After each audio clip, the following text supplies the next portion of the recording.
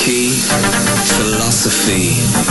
A freak like me just needs infinity. infinity.